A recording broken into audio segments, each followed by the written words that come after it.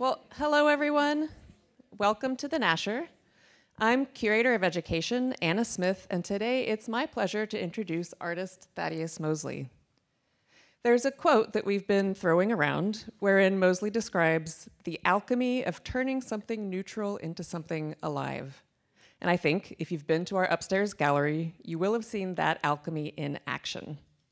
In Mosley's hands, wood takes on the qualities of life, looming, flexing, huddling, all while bearing the marks of his work and the evidence of his expert touch.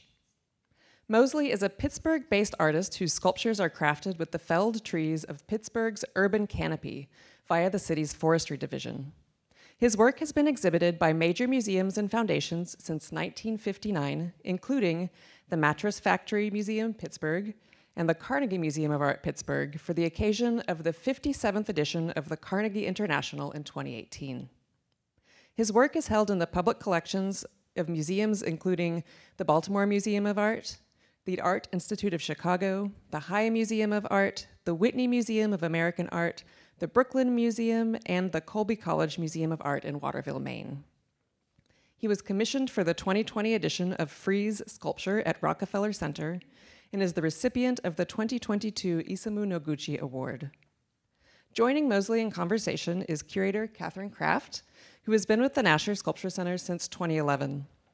Craft is the author of An Audience of Artists, Dada, Neo Dada, and the Emergence of Abstract Art, 2012, and Robert Rauschenberg, 2013, as well as numerous articles and reviews.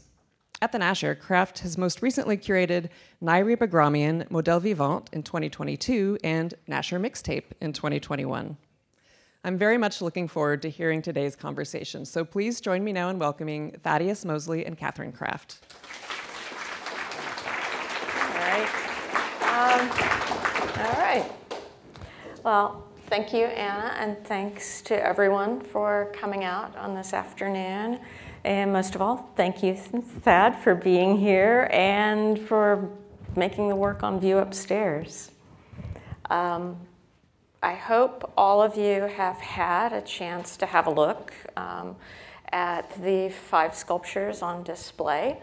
And um, I know you've been interviewed and been in conversation lots of times, so you may have heard some of the topics before, but um, yeah, it's, I'm delighted to be talking with you for a little while today. Well, I'm happy to be here, and mm -hmm. and I'm happy that you uh, asked me to show, and and thank everyone for coming out.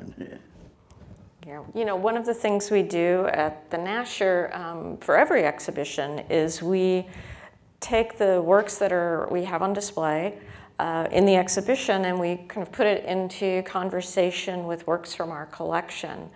And one of the wonderful things about um, having Thad here is that the works, uh, there are works in our collection that correspond very closely to his own interest, uh, held for a long time.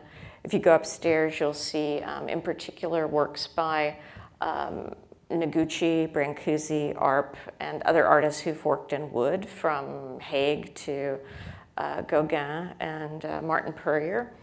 Um, you've had a, you've been working in wood and making sculpture for a very long time.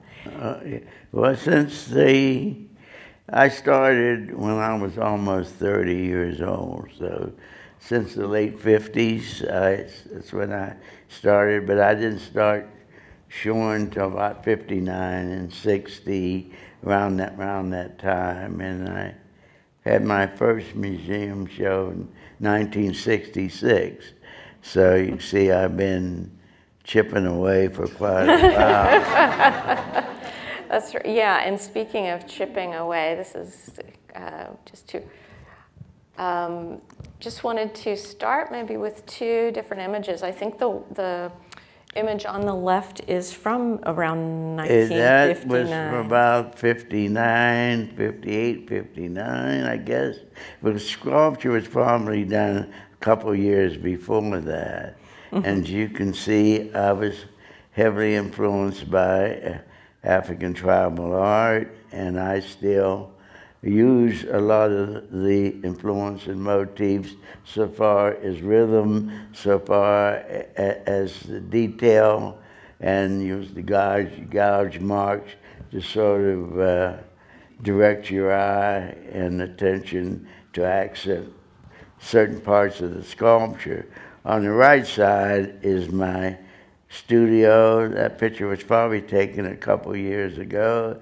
I don't remember. I don't keep track of time too much because it uh, it becomes uh, letting you know that you've been here maybe too long. so, so I try to ignore it and just keep going, but uh, yeah. but uh, you can see the early piece. I, I someone bought it in one out of the festival that I was in about that time. Yeah, and I, I, I think one thing that is um, striking, and I think this is something that's well known about you, is that you you went to um, University of Pittsburgh and studied journalism and English. Yeah, that's right. And um, but then once you became interested in in art and also in sculpture specifically, you didn't go to art school per se because you already had a family and a life.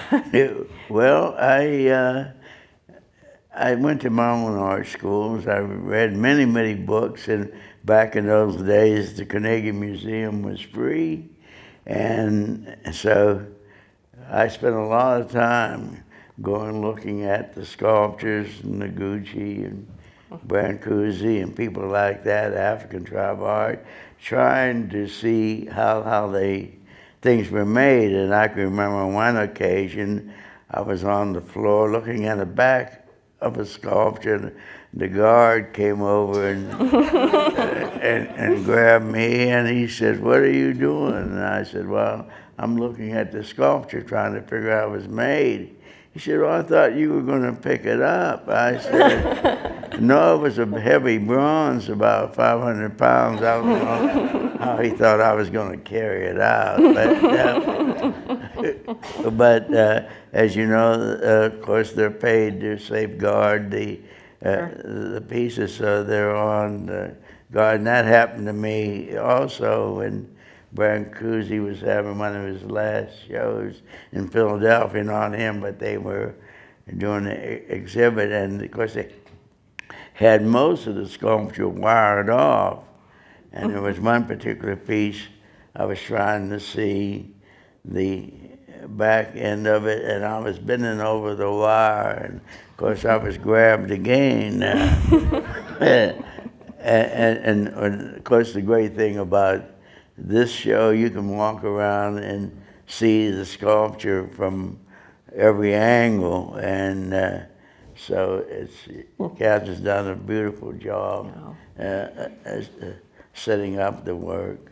Well, thank you, and we. Um, we have this big platform, and in fact, when we were installing the work at different times, I was testing it by trying to, can I, can I reach this? Can I touch this? So you, you don't need to, you don't need to try it. It's well, well that, that, that's always a challenge uh, doing the in Carnegie International. Um, my uh, Ingrid decided. She, wanted indoor, outdoor. so if you go to the far end of your, of your building here, I had works on the outside and had works on the inside. So uh, I told them, well, you're going to have to put some deterrent of some kind where people won't walk into the uh, platform. And even as it was, they had to grab a couple of little children out of the, the exhibition. So, um, yeah, one, one thing that is, I think, to me striking about pairing these two photos is that, um, you know, the few sculptures I've seen by you that are very early, some of them, they're representational or figurative in some way. Yeah. But, but you began, I think, pretty quickly, from what I know, to, to make abstract sculpture. Yeah, mainly abstract. Yeah, uh, uh, even my figures are semi-abstract because I never studied anatomy and none of that stuff. So, uh, and everything I've, I don't really draw, so everything I do uh, is from my mind's eye and eyeballing it as best I can. So, uh, but when it comes to the large sculptures, as you see, with the recent one standing um, to the left of me, which is in Or- the last show at the at, at Karma. Uh, uh, what's two months ago now? It was in May. It was in, in March. So yeah, two months, and uh, so uh, that that's very recent. What you probably see in that photograph is works I, I, I did from 2000 to 203, which most of them were, was in the recent mm-hmm. show. Well, and that raises also the, the issue of how you make the sculptures, which is pretty much on your own. Oh yeah, very, very much, much, on very own. much on your own. yeah. Um, and and actually, I think one of the things that would be maybe nice to explore is how how you work, how that uh, because some of these sculptures uh, I have. I'm just I'm to run around um, on the PowerPoint just till I find. Uh, we'll come back to the studio images of of Thad, but. I, one of the works upstairs, this one, um, you can see with oval continuity, first of all, you see like most of the larger sculptures um, are um, made in sections and they fit together. But the top component of oval continuity weighs, well, it, it's a, a few hundred pounds, a couple hundred pounds, few hundred pounds. I, I, I don't think it's that heavy because It took it took about four art handlers trying to get a grip on it. I think. I, I- I think I picked it up myself and put it on that. Yeah. You know. I, I think it can't be over. Well, I used to be able to pick up over 200 pounds, so I doubt if it's over 150. okay. Uh uh, uh, uh, uh, you know, I, it's, I think our art handlers may but want I to do have, have a, a- word with you. the gallery has one that's maybe almost double the size. That took mm-hmm. three of us to mount it when I was putting it on, and I can remember Tadao Armoto, he's a woodworker. It's upstairs, there's a guy next door. So we had Tadao setting it on the pin, so he was under. He says, "Are you sure this is not going to fall on me?" I said, "It shouldn't fall on you. I'm not going to say it's not going to." I said, "But be." Get ready to jump out when we drop it. so, uh, but it fit perfectly. but it, it, it is pretty heavy that I don't think the gallery even shows it much. They have trouble uh, moving, you know. But I've done this such a long time, and it's not, not always strength. You have to know how to leverage. You have to know where the center of gravity is, and of course, me being short and stocky, I fit right in with the sculptures, you know. but someone that's very tall, they're going to have a lot of trouble because they have a long spine and so forth, and, and so they don't get as much uh, uh, uh, power. You, know. Right. you don't really see really tall weightlifters because their back's not going to uh, last, right. you know. Well, and that also makes me think if I go back for just a second, bear with me, thanks.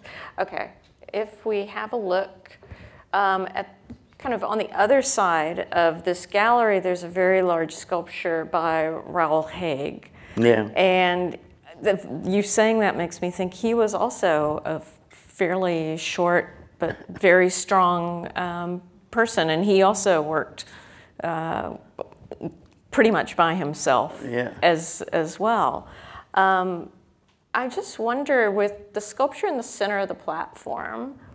Um, this work, Opposing Parallels. One thing I'm really interested in is whether when you're making a sculpture, and I mean, this is, you know, three pieces. You see it kind of being Yeah. put together. Do you have a, a sort of, you work, you said you don't work with, um, you know, from sketches. Do you have like a, um, an idea in mind when you start with a piece of wood or several pieces of Uh, wood? well, it, when I, uh, the process usually starts with me laying out a couple or finding one very unique log and and seeing what else I can get to accent that that log. And as you see, the top piece, that that is the main log, and everything else. First, first thing I have to explain, uh, my concept is weight and space. So the uh, sculpture should seem like it's levitating. There should be movement all around, no matter where you turn or where the sculptures turn. There should be a feeling of the levitation should continue. It should never be static. Sometimes it is, but that that is the premise. And that was I. So when I start out, I find either two things one thing that's going to make this piece move and have vitality and and hope, hopefully be dramatic uh, in space. So uh, so I needed the the, the the the platform. So I made the big base on the bottom. And then 'cause I took a lot of the wood out because you also want to reduce some of the space, but you want to maintain the stability. So the the big issue here was getting the middle piece it, it, it, that sort of uh, um, was a combination of both shapes. So the middle piece gave me more problems than anything else because the first thing is it has to be stable, e- equally stable as the bottom, so it'll support the floating top piece.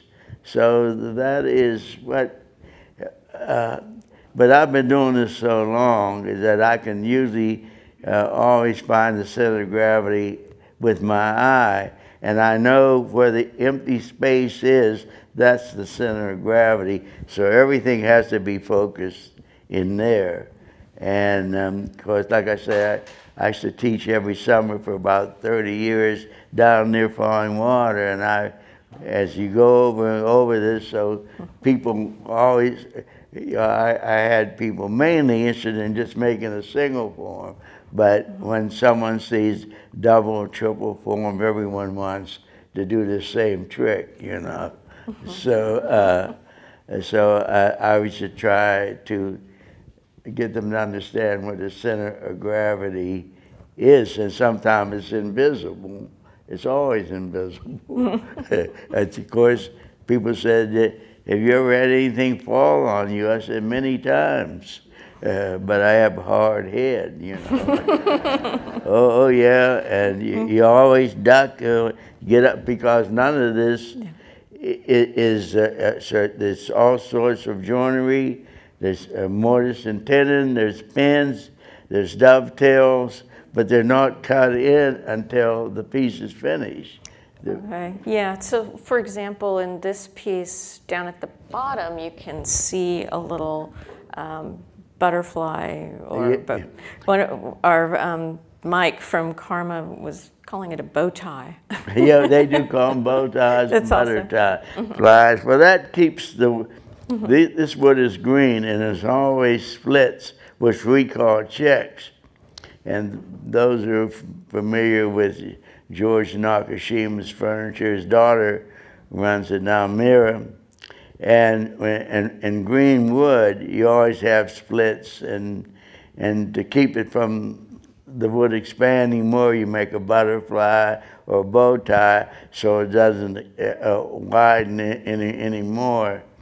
And so, um, unfortunately, it works because uh, this wood comes from a very damp area where there's a lot of moisture in, in, down there in the mountains, and so the, the wood if you cut one of those logs and you set them up on the floor, you're going to have a pool of water when you first cut Oh, them. really?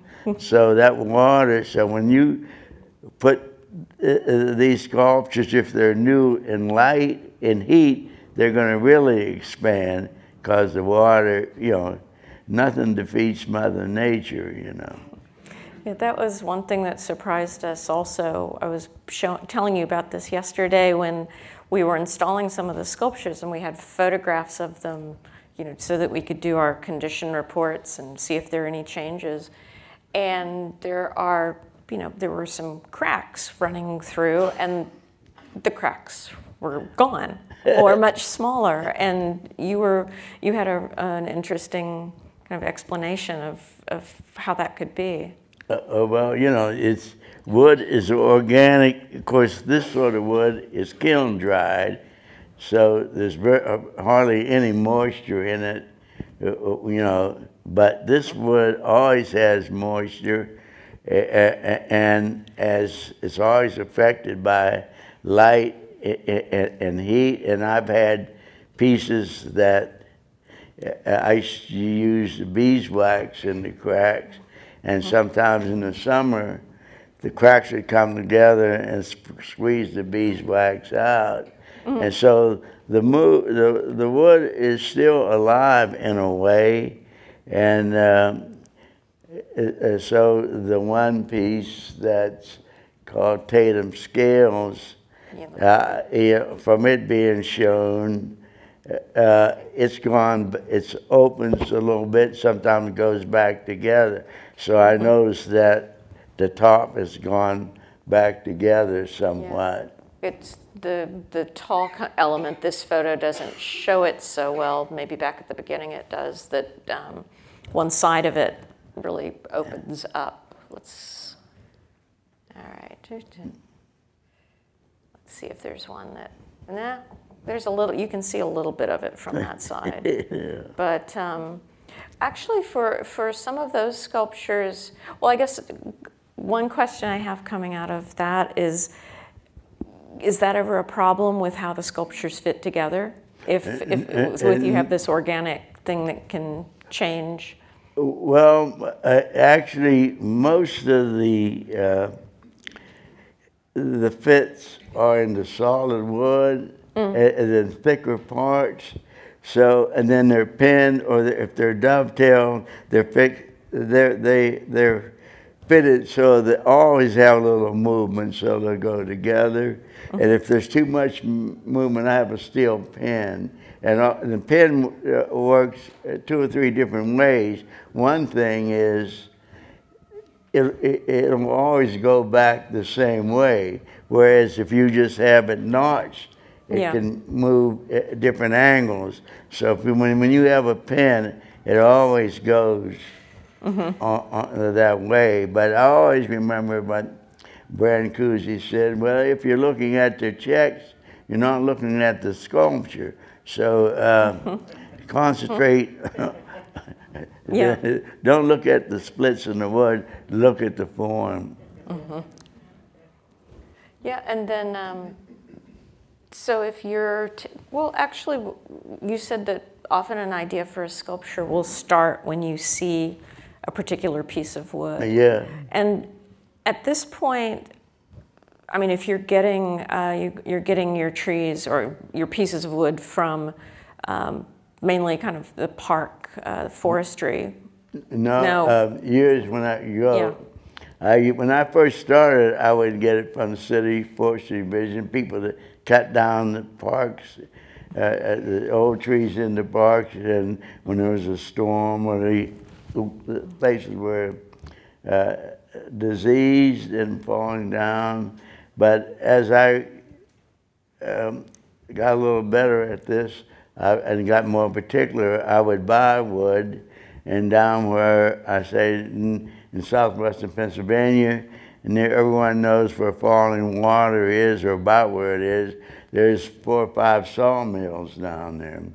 So I could go down and pick out the wood, or he could call me and tell me what he what he has. And so I focus on hardwoods walnut and cherry, uh, two different colors, but very uh, solid woods where you can make designs. You can uh, use very tiny tools if you want to. You can almost draw with the tools, with the V gouges and so forth. So uh, I, most of the things you'll see is walnut because at this period of time, when I bought those 30 logs or so, um, there was more walnut available because most of the cherry wood was being sold in China and Japan because one thing here they we have very large trees in a lot of countries they don't have it. I can remember when we did the Sculpture International uh, conference in Pittsburgh and, and all the people from other countries were riding on the barges and they were looking look at the trees, look at the trees, because in other countries, particularly in Pennsylvania, there's lots and lots of trees. Mm-hmm. And so when you're picking out, um, you said you would pick out trees, I mean, pick out or pick out wood. Um, was that is that kind of the moment where you look for things that catch your eye, also in terms of the uh, form? Uh, Oh yeah, I start uh, when I'm down at the sawmill looking. I'm forming sculptures uh, with the trees on logs on, on the ground. I see some mm -hmm. things. Sometimes I tell them if I don't go down, I say, "Do you have any uh, curved logs?" Mm -hmm. And he'll say, "Yeah, I have three or four. I said, "Well, bring them in." the one of the pieces I called Path of the Pendulum that was in the last show resulted from me just getting having that an idea to do something with mm-hmm. curved logs. But sometimes there's a log with some peculiarities, and I look and see how uh, how, how they may uh, use with something else. But the main thing is I buy mostly straight logs and large logs because you have to have something that, uh, where these things will, uh, will be, sit and be stable. Right. That might be a good time to look at some images from your studio. Yeah, so but that's, that's, a, that's a, very large log, and I'm someone uh, I guess is interviewing me or asking me and this is about a 14 foot log that's curved, and there's a piece that fit on top. And this was in the last about Carnegie International about four years ago, and and they had a hard time fitting that top part onto the another seats, uh, three or four sections. Actually, I had to take a bottom out so it would sit inside. The Carnegie was so tall, went up to about about 16, 17 feet, and but you had to get the, up two, three foot more to drop the top, that part down to the other part, and they were having a terrible time. Two, two big tall guys, about six one, six two. They couldn't fit it over the top. They said, "You sure this works?" I said, sure, it works. We, two of us, just two of us took it outside and stood it up. So I never, I never exhibit anything that I'm not comfortable that is stable and will stand. So I said, well, let me get up on the ladder. And of course, at that time, when I was 92, and they said, uh, Are you sure you can get on the ladder? I said, Of course I can get on the ladder. I got on the ladder uh, outside my studio to put this up. I said, Just hold the ladder. And they said, Well, can you handle the piece? I said, Oh, yeah, I got it. And I said, We just drop it down and, and fit it in. And so that's what we did. And of it stood up for six, seven months during the whole exhibition.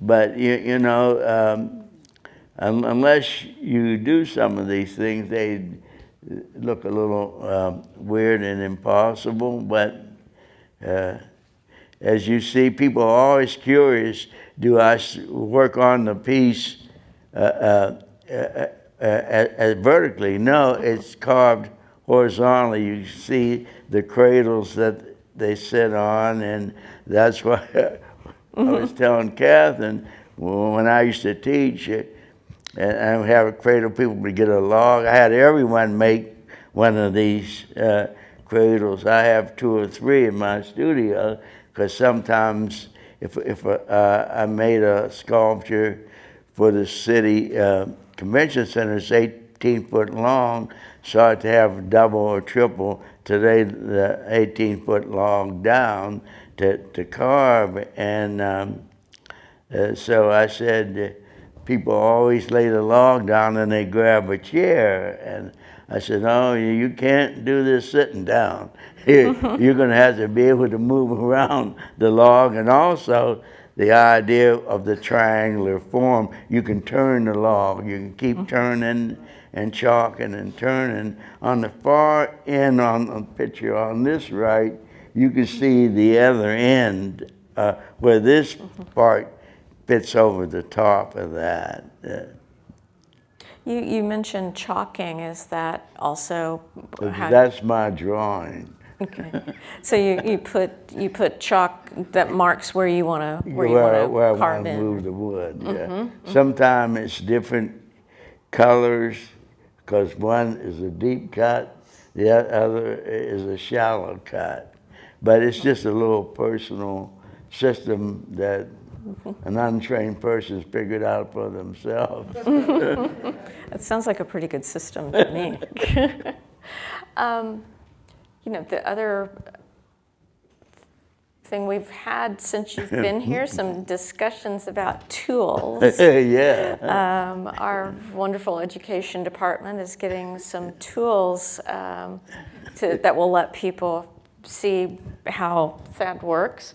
And um, there's very particular types of tools that are used and not used. So um, you were talking about most of the ones sitting on this table are gougers. Gouges, yeah. Mm-hmm. Do you want to talk about because I think a lot of people have this idea like if you're making sculpture, you're just gonna you know you're with a, a chisel.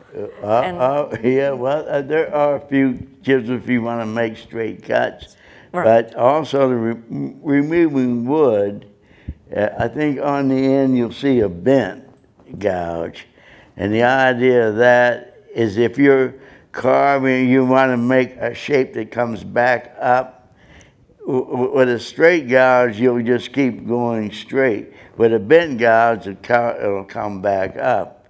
And particularly if you're making people that uh, make uh, bowls and things like that, that's a bent on the end. The other are different depths uh and, and different widths. And of course, if you're carving a large log, I, I have uh, particularly on the average, I use a two or three inch gouge. And, and, of course, you need more muscle power, but you move a lot more wood. So, but that gives you, and I was sort of laughing because the woman that was works in education, she had a display of tools, and they were carpenter tools. And I said, well, this happened to me. I did a workshop years ago for Memphis College of Art. And of course, very few schools now have any carving, stone, or wood. So when I got down there, they had car carpenter tools. And I said, well, that's good if you're just shaving off the top of the wood, but it's no good. They, they aren't uh, wood carving tools. And so uh, there's a place called Woodcraft, and it's headquartered pretty close to Pittsburgh, a little town called Canonsburg, Pennsylvania. The older people who remember a singer named Perry Como, uh, and another singer named Bobby Vinton, they both came, from Canonsburg. so, uh, but that's where Uh, uh, uh, that, that's the company I buy most of the my tools from, and they're Swiss and English mm-hmm. tools. But you can see some of them are taped on the end to keep the wood wooden handle from splitting. Some have metal ferrules on the end, which is even better. But in order to make more money, they don't put metal on all the ends of the wood. So I tape them to keep them from cracking so much because I hit rather, rather hard and strenuously to remove. You'll see some of the chips in the background Yeah. where as result There's quite a pile, quite a pile there as, as well. But I think, I think the, the question of tools is interesting also because your sculptures tend to have this incredible surface. And uh, let me go to one that really shows that. I mean, that's just one example. It's just these this series of kind of inflected marks, and light Mm-hmm. really catches the surface. So in in part, that's from the gougers. The gouge marks. Mm-hmm. We also have very have gouges, you know, like a, a, an eighth of an inch, a quarter of an inch, if you're doing very small details. But also have things that are very curved, because if you're doing an end grain, you, you're not going to cut very deep with a, a flat chisel. You need something like that that will go through an end grain or go through a knot. But also, the gouge marks uh, set a design in, in, in the sculpture and direct your wood. I, like I said, one of my influences is tribal arts, and in tribal art sculpture, you'll see where, where- where the carving marks direct your eye up, left or right, or, or in. So all those uh, marks they create not only create a, a rhythm, but direct your eye as to where the sculpture is going. I mean, you know, one of the things, um, if we think about how the works are made, and we've talked quite a lot about that, um, what what is it that I guess you know you could also be making furniture, I guess. Oh, but, have but what do you, yeah, what what what about for for you and like making sculpture? What is what do you get out of it? I, I guess, or what are your f- feelings about um, what what keeps you making sculpture at this point? Well, of course, I started making sculpture for myself, and I guess I still am making it for myself. but I, I think it's a, a lifestyle. I think, to me, there's nothing uh, more joyful exhilarating is having living surrounded by art, and to me, having a, a really uh, uh, uh, beautiful pieces of sculpture in your house or living with it. And I think living with art, it, to me, is very important. Uh, I always feel very happy people who were moaning during the pandemic about their uh, surroundings, their environment. I didn't have that problem. Uh, I have about maybe 50 pieces of uh, sculpture in my house, not only mine, a lot of other people. And I enjoy seeing, I, it's living with this. And, and I think that for a lot of people, these are inanimate things, but to me, they're always alive. And that's what organic art means to me, you know. Now, I think um, part of the, the sort of lifestyle that you're describing also encompasses or is close to jazz, and I can't resist. Uh, I can't resist bringing in jazz while we have the chance to, to talk because that's a, also really a major part of Well, your I've life been, and your work. Well, I've been sort of a, uh, well, I came from a musical family, had an older sister who was a singer. And the first jazz musician I ever saw, I guess I was about eight years old. And um, Blanche Calloway came to New Castle. Now, very few people know who Blanche Calloway was, but they know who Cab Calloway was. And Blanche Calloway was Cab's older sister, and he imitated her a great deal. And uh, and then the next band I saw was Ella Fitzgerald and Chick Webb. And mm-hmm. Ella Fitzgerald was maybe about 17 or 18 years old at that time. And I always, uh, of course, Pittsburgh has produced so many great jazz people. and A lot of them I knew very personally were good friends, like the recent departed Ahmad Jamal. I knew him since he was a teenager, and every time he came home, uh, we always went to dinner. My friend Terry and I, he'd always have us uh, over for for dinner and whatnot. So I saw many now. You might notice I'm wearing a cap from the Village Vanguard. They're not paying me to wear to advertise for them, but it's just one of my favorite caps. And every time we go to New York, one of the places we go is to the Village Vanguard. And uh, was recently was there with Joe Lovano, Paul Douglas band. And so, and of course I play music every day. I have a lot of, fair amount of music in the studio, but I must have close to thousand CDs and records in my house, which is a small amount to some friends of mine who have yeah, a, a, great, great deal or more. But uh, so, uh, music and art, which music is an art, I think when you surround yourself and make music and art a lifestyle, to me, I'm always happy.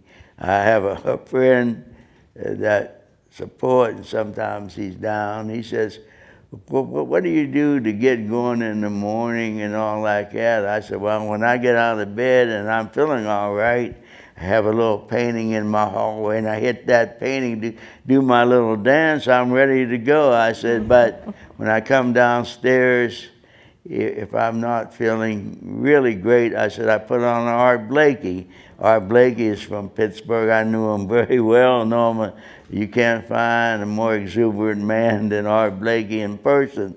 But also, when Art Blakey played, if you played with me, you had to get up and go.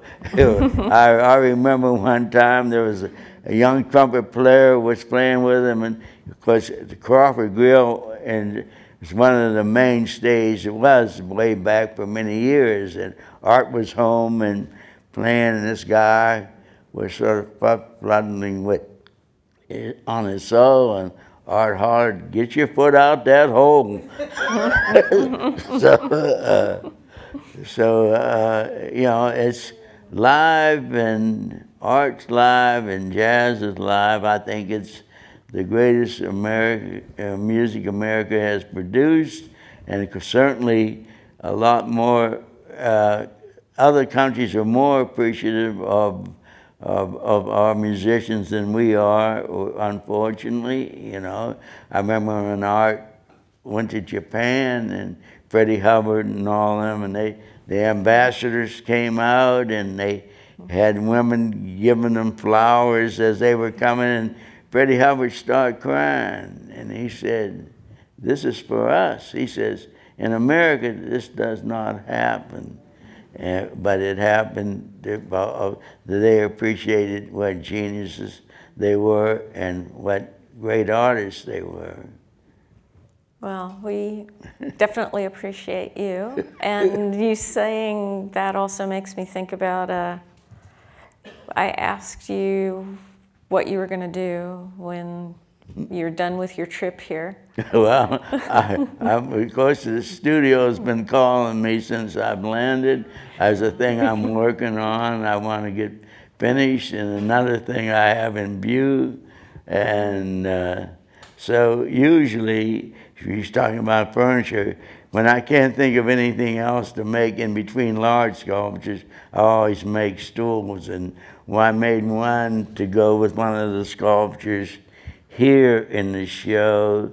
You can yeah. see it on the far end. Of course, you can see it better there. But um, but that's what I do. Um, uh, uh, I, I always uh, enjoy making stools, trying to see how many different ideas I can come up with. And they're very utilitarian and, uh, and nice to have around. Yeah, I think um, we could go on and on, but I also feel Yeah. like I want to give um, other people here a chance to ask questions if they, if anybody has questions here. We have somebody, I think, at the back. Hi, Mr. Mosley. How are you? I'm fine. Thank you for Yeah. being here. Uh, I was recently uh, in Pittsburgh um, and saw some of your work there, particularly in the hill countries, uh, in the hill um, section of the city. Um, and I want to ask you about, um, you know, particularly that hill district, uh, particularly because this uh, place, uh, the Nasher, is close to another black uh, former black community, the Freedmen's Town. Um, and I'm interested in, in what you see happening now uh, in Pittsburgh uh, in relation to the art that's there, particularly the Phoenix and other arts. Well, uh, it, there's always been where wherever people are, all kinds of people, there's always been someone that spearheaded some sort of an art movement and art community. So the the hill isn't what it was in the old days. The, the clubs aren't what they uh, were, and neither are they in New York. When I go to New York, I have a hard time sometimes finding uh, like who's that smoke. But in the old days, I, I think when you went to Harlem, there was lots of clubs, but there's hardly any there now, which is sort of pathetic. Bennett's so-called Afro-American music was the, uh, the, the impetus of this. Of course, now it's a world music, which is uh, I'm happy about. But in, in the in the hill, uh, uh, they have struggled to, to to revive a lot of the stuff that used to be there, like um, Franco Harris was trying to revive the grill, but he recently passed away. So I don't know if that's uh, uh, uh, going, to happen. But there are a few people like um, uh, Earl Reynolds and Catherine Carr. They've started with the Mocha, uh, uh, um, a gallery learning center, and they've just getting. Uh, of course, everything was stymied during the COVID, uh, uh, so we'll see how much new really comes up. There's some other questions? I watched a video a couple days ago that I guess took place in the gallery Karma, and you were talking about you were 88 years old when you got a lift in your studio. Yeah. And I was curious to know h- how you use it and what you got it for and why. Oh well, uh, the one one of the things uh, I guess uh, when in my 80s I got so I couldn't keep lifting things 50 times in a row anymore. Uh, so, uh, but if you look at the tallest sculpture now, the, mainly the round one that's on the first thing that uh, maybe if you go back to the original uh, one with me when I was a young man on the other side. Okay, me, that top piece there uh, on the right, that weighs, I would imagine, 125 pounds. And I said, there are three sections, but the top piece is one piece and about 125 pounds. And when I was young, I could lift that up by myself and fit it. But with, with, with the uh, crane, I'm able to hover it and really fit it so when Karma gets it in New York, it's not going to fall. so, so uh, that's the idea of the crane. Is the, is the crane, is it power? Is it hand? Oh, it's Crank- a crank- oh, hydraulic. and- hydraulic. And, very, uh, it's like me, it's very old fashioned and very, and very mechanical. There's no electric power or anything like that. So you have complete control. You know, there, there is, there are uh, electric powered tools, but once you turn on those RPMs, they don't slow down. They, aka, mm. you're at the mercy of the electricity. But when you're working by hand, you can mm. carve as slow or as fast as you want. And the same thing with the hydraulic crane. Any other questions? Mm. So, as someone who trained as a sculptor and who carved, Uh, I, you know, my hearing isn't the greatest, and you have a, oh, a mask on, so I, Trying to your protect muffled everybody. sound. All right. so as someone who trained as a sculptor and who carved for about two seconds, I am very curious because of the timing involved. I was like somebody who needed to have results quick. I'm curious about the duration when you're carving. How long does it take for you to do some of these monumental pieces? Well, most large pieces I get about two and a half to three months. I mean, you cannot do this in a hurry, you know, and you cannot promise someone that you're going to have something done in a week. You know, at least I can't, you know. Do you, do you work on one at a time? I, I do, I'm very single-minded. I work on one thing till I get it. I have an idea, and I want to see that the connections come together, and I, I, so I just work on one thing till I, I get it done. As you can see to the left there, you'll see some of the stools that I made at that time. And so sometimes I just stop and I make a series of stools and and I try to make them all very different, hopefully. And and sometimes people use them uh, uh, to sit on, and sometimes they just use them as a art object, as a sculpture. People buy a, a, a box pedestal and put the stools on top as sculpture, which they are sculpture. That's a tip from Brancusi, I guess. Yeah. Anybody, maybe one, maybe one more question? Oh. Okay.